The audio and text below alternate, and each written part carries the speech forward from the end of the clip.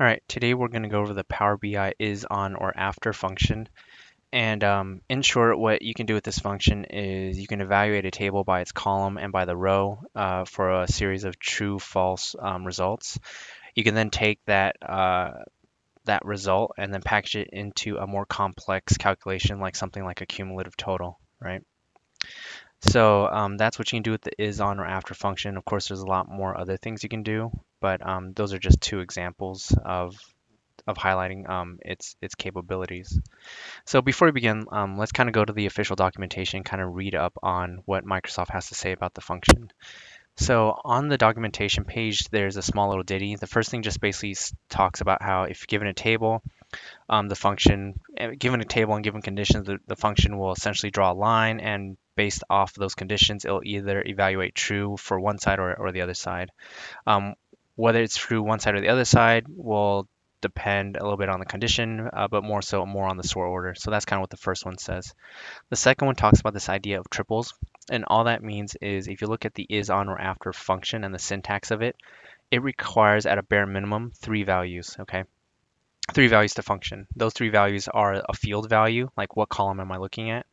a, a field expression um, that is, or, or, rather a field condition rather that is, okay, now that you've told, told me what column to look at, um, where is my, where, where am I drawing the line? So in the case of count, if I were to say 10, that's where it draw its line, okay? And then lastly, the sort order, okay? So you told me a column, how do I want to sort it, and then how do I draw the line? So those are the three things, and that's what I mean by what this this paragraph um, means by triples. That in order to use the is on or after function, you need at least three values in um, you need at least three values to to to run. Um, outside of that, you can you can add on as many additional triples as you'd like, but just know that those triples uh, build off of the preceding triple. So if the first triple kind of filters down your your table to two, to two rows, um, this the following uh, triples will only apply to, to those two rows and so on and so forth, okay? and then the last one is sort order, which is um, just it saying, um, you know, depending on how you sort the, the triple conditions, um, it will evaluate true one side or, or the other of the line, okay? So um, for this example, the data set is is going to be just from the the documentation page. I literally just copied and pasted this into Excel and loaded it into Power BI. The only difference is I added an additional column called year to uh, later illustrate how uh, total cumulative uh, works. All right. So assuming you copied and pasted that correctly and you load it in, um, as always, first evaluate your data load to make sure everything's correct. In our case, it is correct. Like I was saying before, the only thing different here is um, I added a column for year. This function is also here because I had to illustrate what it does, but the original load only goes from a year to total and it stops there. Okay. So now that you um, now that we've we verified the data is correct, why don't we start from scratch? So let us delete this. All right delete the function. I'm going to just create a new page because it's relevant. Um, yeah, do that. All right, so let's start by loading all the fields in. All right, this will help us understand kind of how the function is working. Do a table. We will blow it up so it's a little bit easier to see. 20, we will get rid of total because it is irrelevant. And then uh, we'll just arrange things so that it's a little easier to digest. So country, state, year, count total, all right? So first off, let us begin by creating a new column. We'll call this function, and we will call the is on after function out. So um, as you can see here, we need three values for it to work. Like I was saying before, the first one is going to be you have to tell Power BI which column are we we conditioning on. In this case, let's just use um, total, um, but it doesn't have to be a numerical one. You can actually use um, text uh, string columns as well. But in this case, we'll start with count. Um, coincidentally, our, our field has the same name as a very common uh, other common functions. So just make sure you pull the right one. So we do count. What is the condition? The condition is going to be, let's just say anything on 10 or after. So we'll do 10. And then what's the order? We'll just do ascending. Okay and that should be done. So the function is done calculating. Um, so even before we bring in the column to kind of see what our result will be, let us think about what we what we have just done here. All right. Um, first, let's look at the first condition. We are we are um, We are sorting this table by count. Okay, good. How are we sorting it? We are sending it. So right now as the table is, um, this is not what the function sees because right now the table is sorted by count descending as as implied by this as um as expressed by this this triangle. So let's click it click on it the other way. So now that it is ascending, this is what we're seeing, okay? And then what we told it after this is draw the line at 10. That's by nature, by definition, what it means, on or after. So anything on 10 or after, I want you to return true. Okay, so that's what I expect. With a table that's been sorted by count, ascending, I want you to give me everything 10 and after. And in this case, because it's ascending, what that means is anything from 10 and below going downwards. It's not going to be 10 after going up. Um, it's going to be 10 going down. That would flip if this was this table was, was sorted by descending. It would be highlighting everything above. But um, as long as you you you know if you're, you're going to do if you're doing some quality checking, as long as you arrange your table to mimic exactly your conditions of your is on or after, it should the truths should populate where you expect. So in this case, this is exactly one to one to how we do it here. So I should expect uh, truths to be from these four, uh, from this row and below, right? And so I'm going to bring in the function and I'll see that that is the case, okay? Now, like I was mentioning before, you don't need, uh, you're not limited to only one set, of, uh, one triple. You can actually add more. Just know that every additional triple builds on the previous triple. So right now, even though we have five rows, um, the, the, the second triple that we build will only count towards these four rows, okay? So if I were to do something like, um, let's do it on state. So we do a comma, and, and Power BI automatically recognizes three inputs as one triple. So I do a comma. This will now be my new triple. I put in the column. I'll do state. All right. And what is the condition for state, right? State is, as you can see, a string value this condition, all it's saying is, where do I draw the line to evaluate? In this case, I want you to draw a line at, um, let's just say, let's see, these four, W, uh, we'll do WA at WA. So because WA is a text, I have to put in these quotation marks. And the next is I need to tell it um, what order. So I'm going to do descending, okay? and let's see our results. So now you see here, it used to be four truths, but now it is one false. So um, how do we better understand this? Well, let's just change our, uh, our table to, to meet what our conditions are. So count is already um, sorted correctly. Now we need to sort by state also, in addition to count, okay?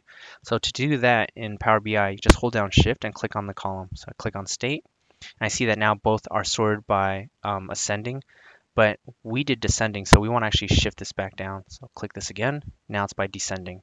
And if you see here, you know, if you think about the logic, all right, so first is everything from 10, 10 and below, or 10 and above. So first the line was drawn right here, if you will. Okay.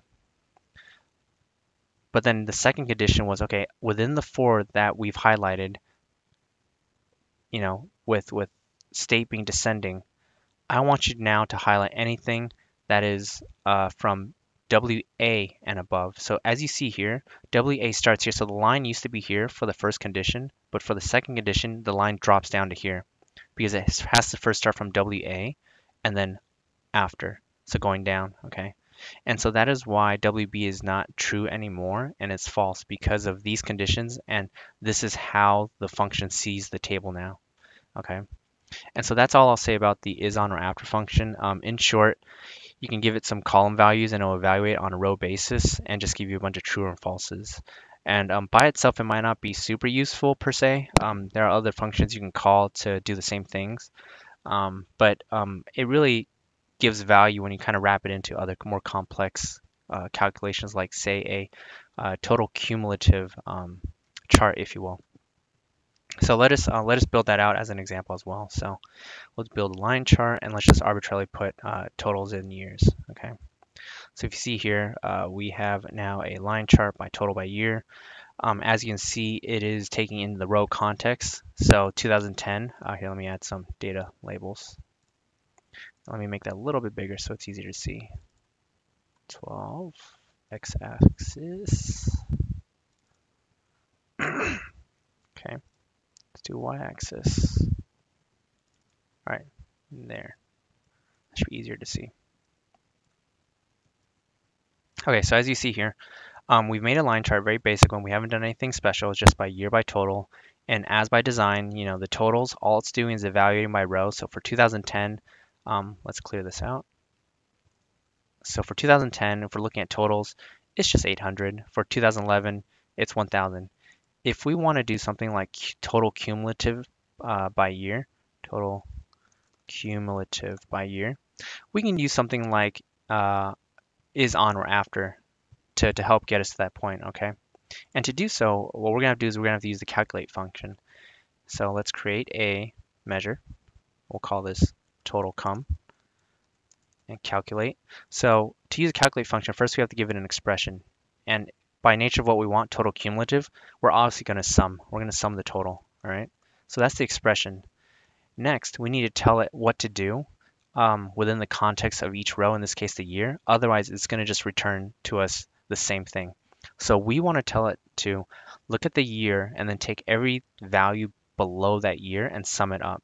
And so to do that, we're going to have to first filter. We're going to filter and the table is going to be all selected year. All right. So um, first it's saying, hey, for each row, build a table first. And that table will be based off the year. Okay. Um, or it's, it's going to be based off the year column. Now we got to filter and tell it, well, which years? Um, if we just leave this as is, it's just going to give us the same thing again, row by row, 2010, just 2010, 2011, okay? Actually, I'll even do that. Uh, no, it's going to break out. It it wants a filter if I'm going to use the filter condition. Um, actually, I'll remove this and see. There we go. Okay, so let's put this in here just to illustrate a point. If you total, total cumulative, um, it's going to do nothing, all right? Because it's just taking the total of everything, 4.1k, all right? Um, that's why you have to first give it a filter condition. So do that. And I want you to do it by year. Uh, oh, duh. Um, so the filter condition is going to be uh, is on or after, obviously. The value is look at the year. Be sure to select the field value, not the function. By chance, um, our, our, our, our, column header is the same as the function. Uh, we need to do an aggregate, so we have to do max. Okay, and then the order is going to be descending because cumulative is we want it to look at all the years preceding and sum it up, okay? So we do this, close it up, and you should see it now behave correctly, right? Because what we did was for every single row, I want you to build a table, and I want you to build a table using not only your year, but the year preceding, um, preceding, and then give me the total, okay?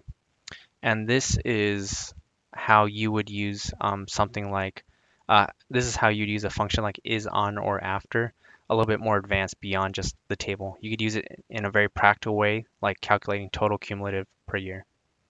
Okay.